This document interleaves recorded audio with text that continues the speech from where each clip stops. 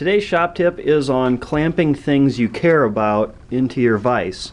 I've got a set of handlebars here and it's pretty simple. I've just used a white shop towel. I've folded it into thirds and then wrapped it around the end of my handlebars and I'm just going enough so that this won't rotate. Um, other things you can use besides towels, if you have rubber, um, just sheets of rubber, you can wrap that around it. Um, I've used I've used tube socks, uh, stocking caps, just anything padded like that, uh, bath towel even.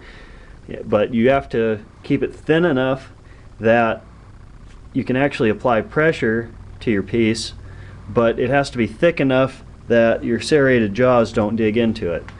That's the shop tip for today. Remember to subscribe for more. Thanks for watching.